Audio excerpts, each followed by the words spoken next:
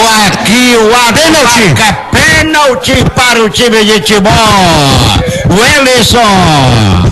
Dídimo de Castro, o Eduardo deu bote na bola recuada para o goleiro Andrei, que foi tentar sair jogando e na hora que o Eduardo ia dominar a bola, foi calçado pelo goleiro da equipe do Coriçaba. Pênalti assinalado pelo árbitro Antônio José Lopes Eduardo, já pronto com a bola para a cobrança. Dídimo de Castro. É pênalti, oportunidade para o time de Timó. Abria contagem aqui no Lindolfo Ponteiro. Bola na marca. Eduardo para bater. Andrei para tentar a defesa.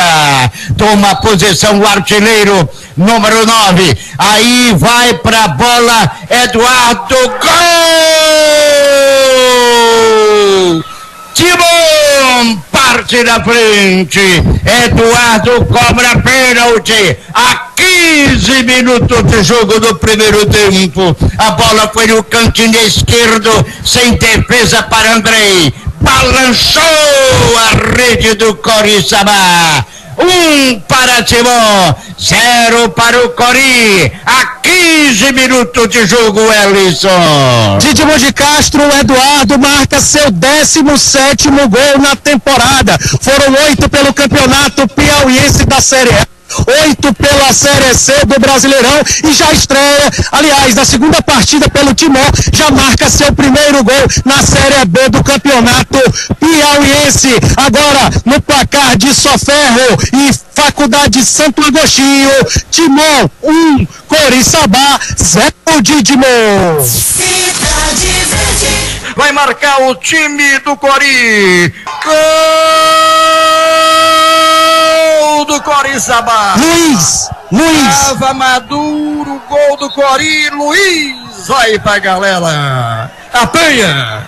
Apanha, Jailson, deixe de conversa. Coloque a bola no centro que o Timão está com pressa.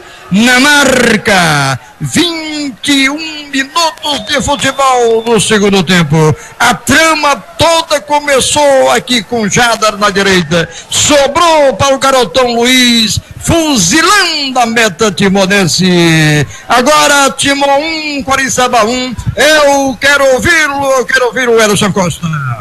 Essa jogada do Coriçaba no rebote vem acontecendo desde o primeiro tempo.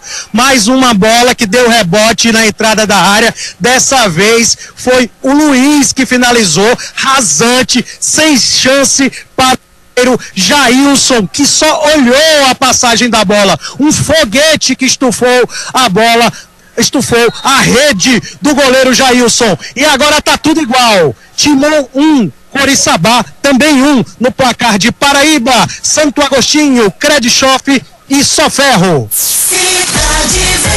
Tá pintando esse escanteio para o Timão, Ellison. Exatamente, escanteio marcado para a equipe do Timon. Bismarck de novo na bola. O João Pedro é atacante mesmo, viu? Foi uma tentativa do Marcão de jogar o time para cima, Salomão.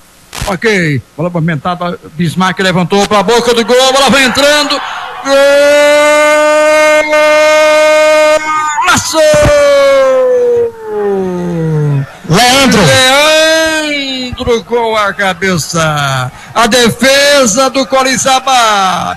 Parou! Por quê? Por que parou? Cabeçada de Leandro estufando o barbante do Coriçaba.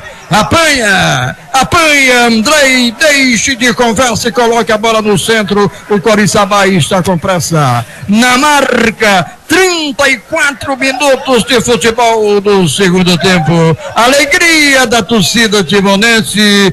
Eu quero ouvi-lo, eu quero ouvir o Erison Costa. Na jogada do Timon, ao invés de alçar na área, o Bismarck saiu tabelando, recebeu de novo e levantou na área e a bola acabou sendo cabeceada livre no 13 terceiro andar pelo jogador Leandro, camisa número 4 de Timon. Subiu muito e sozinho como ele vem fazendo também nas bolas aéreas da defesa, fez no ataque, o goleiro Andrei ficou pregado e a bola foi no cantinho, bate o centro, Cori, Timão 2, Cori 1. Um.